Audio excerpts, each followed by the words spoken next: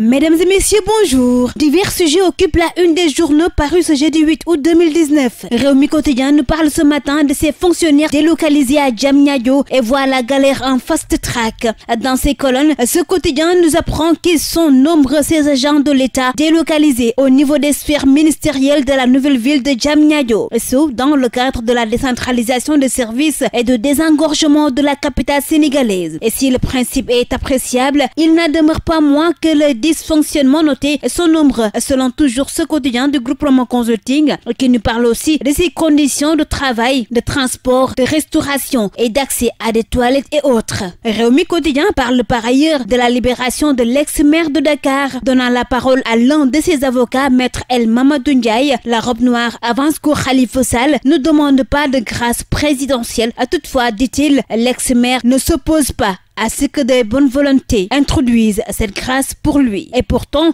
les trois civiques du Khalifa ne sont pas perdus. C'est selon Maître Moussassar, toujours dans Réumi Quotidien. Là, il déclare qu'il n'a nullement vu où c'est écrit de manière claire et nette que l'ex-édile de la capitale ne bénéficie plus de tous ces trois des citoyens. La tribune de son côté voit le syndrome Karim qui plane sur Khalifa par rapport à cette grâce présidentielle. L'éventualité d'une grâce à l'ancien maire de Dakar divise ainsi son camp selon qu'on est pour ou contre. La tribune avertit ainsi que si cette grâce permet à Khalifa de recouvrer la liberté, elle ne manque pas de pièges. Et pendant ce temps, Enquête quotidien s'intéresse à ces manœuvres du pape du Sopi, des audiences tous azimuts de Maître Wad à l'aile dure de l'opposition. Ce quotidien nous en parle en donnant la parole au professeur Maurice Soudjedjan. Ce docteur en Sciences Po précise dans ce quotidien que Maître Wad adresse des signaux forts au régime de Macky Sall avec ses audiences accordées au leader de Pastif, Ousmane Sonko, et de Teki, Mamadou Lamine Diallo, le pape du Sopi, qui fait d'une pierre deux coups selon enquête toujours, qui précise que d'abord, il rassemble l'aile dure de l'opposition autour de sa personne en perspective des échéances électorales futures, mais prévient toujours ce quotidien d'enquête, Maître Wad, mais également la pression sur le président Macky Sall et son régime. Et les échos nous parlent de ces prochaines locales justement qui se dessinent. Pour cette fois-ci, les maires seront élus au suffrage universel direct, selon ce quotidien qui nous révèle que même la ville de Dakar est concernée par cette nouvelle mesure et le code électoral sera même modifié pour son intégration. Les échos nous fait part par ailleurs de ces inquiétudes, toujours par rapport à cette nouvelle donne d'Abdoulaye Martar Diop, de Baba Fall et de l'opposition du Congrès pour la Renaissance démocratique. Les milliards mobilisés au Club de Paris de 2014 à 2018, c'est ce qui intéresse ce matin Source A. Ce quotidien nous parle de 7 350 milliards. Où sont passés ces liasses qui restent aujourd'hui incapables de redonner vie aux tensions de trésorerie que rencontre actuellement le régime de Macky Sall? Ainsi s'interroge ce quotidien qui donne la parole ce matin à l'économiste Elachi Mouniri Lui, il trouve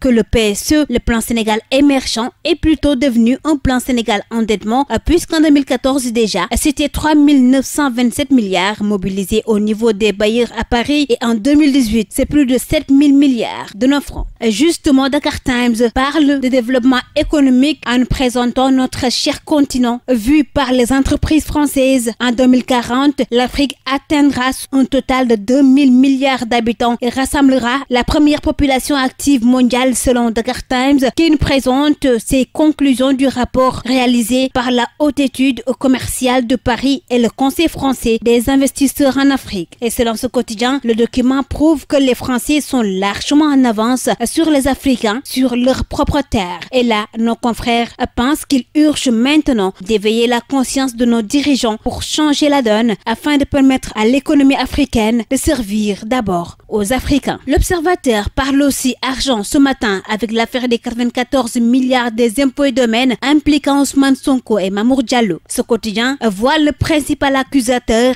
comme un contre-attaque à problème et le professeur de droit pénal à l'UCAD, lui, il nous explique dans ce quotidien pourquoi la plainte de Sonko va être déclarée irrecevable. Et nous terminons ce tour des kiosques avec les sports. Stade quotidien nous parle ce matin de ces 40 lions qui sont à l'assaut de la L1 française. Ce quotidien nous signale que Idrissa Ganegay, il est à la reconquête de la France. Maïnyang, lui, il serait pour la confirmation. Diao Keta, la Renaissance, Diallo, Nyan et Opanget, eux, sont les jeunes loups du club de Metz. Et Petit Jules, comme on l'appelle le vétéran, lui, il constitue le dernier champion de Ligue 1. Ainsi, mesdames et messieurs, nous bouclons ce tour des kiosques sénégalais paru ce jeudi 8 août 2019. Merci à vous de l'avoir suivi et très bonne lecture à tous.